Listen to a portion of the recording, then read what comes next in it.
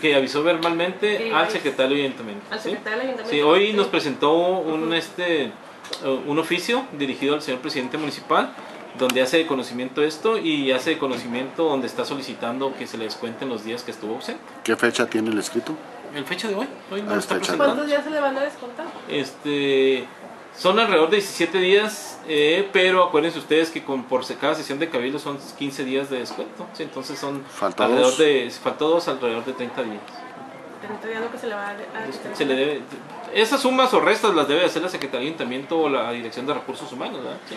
Pero Pero, avisar- conforme al reglamento, eso es lo que marca. Pero avisar verbalmente es el procedimiento, tiene que ser por escrito, ¿no? Bueno, ella no está disculpándose, ella dice, bueno, yo avisé, pero yo estoy solicitando que se me descuenten los días que no vienen, ¿sí? Y entonces en ese tenor, pues se salva, ¿no? O sea, Se salva. ¿No debió avisarle Sí, o sea, usted también? ¿cómo? ¿No debió avisarle usted también? Sí, o sea, a las asistencias a la, a la oficina es conmigo. A las inasistencias, a las sesiones de previas y de cabildos a la Secretaría de Pero creen ustedes que el hecho de que se les descuenten los días es una justificación para que no acuda, no atienda.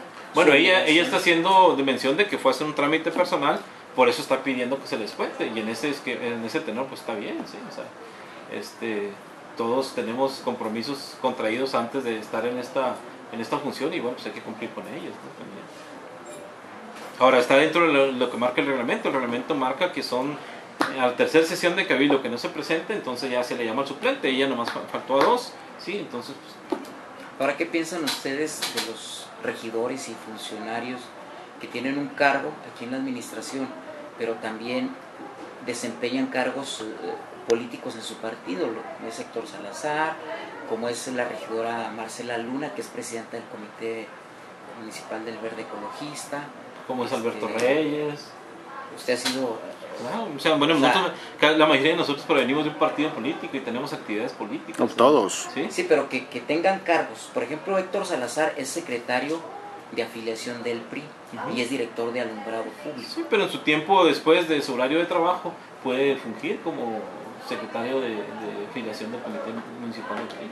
¿A qué horas? Porque cuando el, el presidente municipal ha dicho que aquí son funcionarios de 24 horas. Ah, pues habría que preguntárselo, ¿eh?